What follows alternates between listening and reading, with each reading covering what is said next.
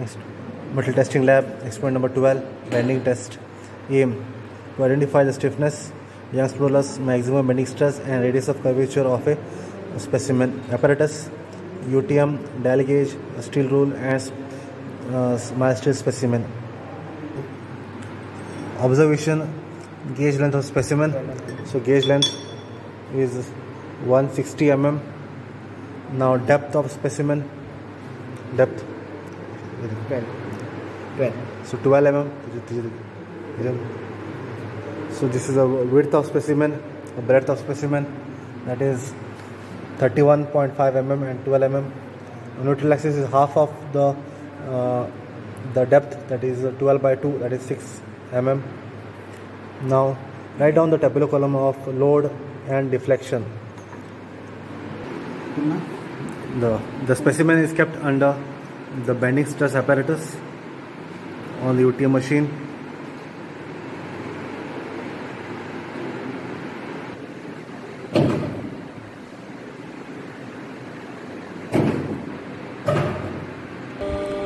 Now take down the reading of load and elongation. So on the tabular column, write down the load and elong corresponding elongation. Taking the reading from the display.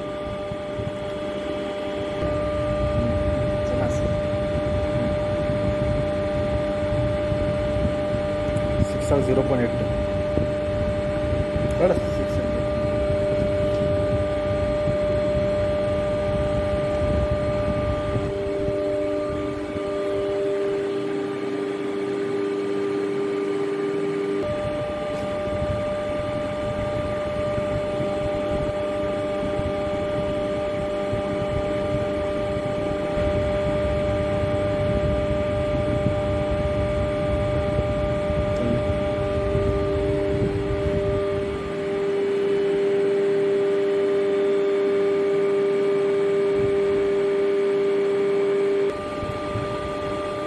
So it has reached to maximum point of 16 kilonewton.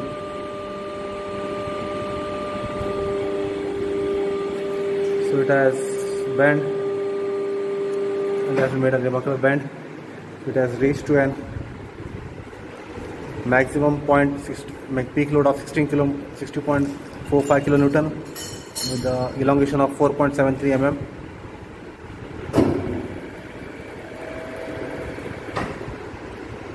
As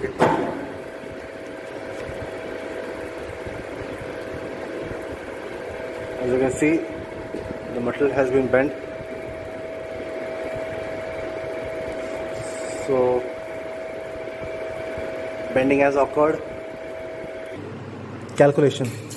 So first, calculate the um, moment of inertia I, that is B d cube by 12. So B is the width or the breadth of the, uh, of the specimen into this thickness specimen that is 12 cube by 12 that is 4536 mm raised to 4 next the neutral axis y that is d by 2 depth of half of the depth that is half of 12 that is 6 mm. Next maximum bending moment so this is a point load. So for it's a point load act, which is acting at the center.